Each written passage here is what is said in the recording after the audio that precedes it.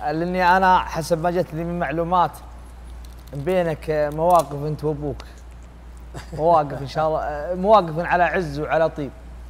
وعلاقتك أنت وأبوك وطيده إحنا نبيك تشاركنا بأحد المواقف ولا بالعلوم الطيبة اللي بينك وبين والد أما شيء فكاهي ولا شيء يوم يقال فيه علم طيب اسلم.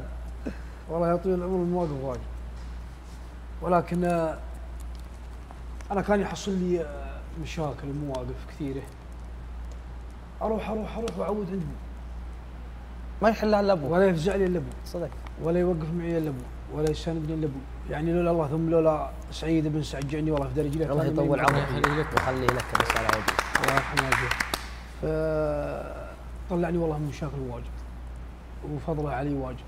وجمايله علي واجد. لو أسوي أنا من نية لا بكرة والله مو في قدرة. ولا أنت مو في حد. زي ما قال سلطان لو أحججهم. على ظهري والله مو في قدره لا هو ولا أمي. جعني والله فداهم. عرفت ولا لا؟ لكن آه، أما المواقف والله ما أنتم معروفين أهل ذيك المنطقة بالخاطر الطيب والخاطر الوسيع جرب يطول. إي والله. ما تذكر لنا موقف لأبوك. ترى المواقف اللي تحصل بين بين الابن ووالده حتى لو كانت فكاهيات تعمق العلاقة بين الشباب وتخلي وتخلي وتخلي الابن يتعلق في والده. وأنا نصيحة أوجهها آه، لاخواني المشاهدين. آه، والدك ترى مهما قسى عليك والدك مهما عدلك والدك مهما زعل عليك ترى والدك يحبك. يبي والدك يبيك تصير أطلق منه. مع إن ما حد بيصير أطلق من والده ولا حد بيوصل مواصيل أبوه. بس أنت يا يا يا الابن أنت ترى قطعة من الروح. ما مستحيل مستحيل أم أو أب يتمنى لابنه أو بنته الشر أو المكروه لا بالعكس هم يتمنون لهم العلم الطيب. يعني من أخوي عبد الله جعل ربي يطول عمره أنا مت أنا متقمص في شخصيته ومتقمص في, في الأشياء الخاصة اللي عنده.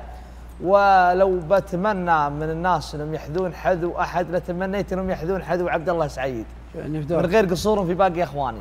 ولكن اذكرنا أحد المواقف ما لك عذر؟ حتى الكنترول يقول لازم تذكر لنا موقف. أنا والله موانتي كيف جت مع أبوي قوية؟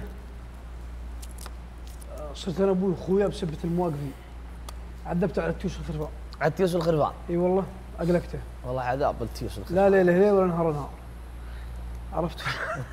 جايني والله في رجليه لدرجه بالموقف حصل قوي الشايب آه، حاط له خروف في الشك يبغاه للعيد. والخروف زين يبغى يضحي به.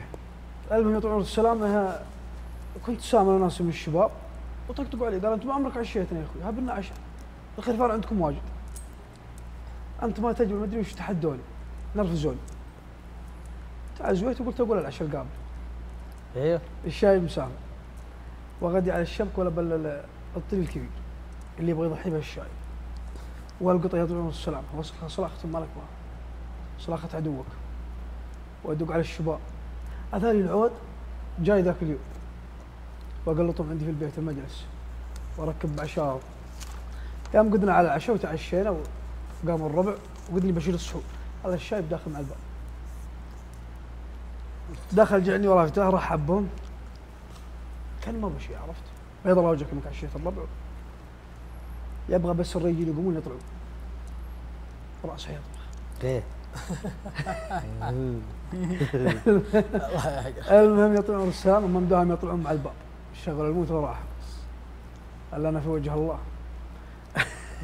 أعطاني ضربته على راسي باقي في عقيله هذا الحين. عاد في عيال لا إي والله.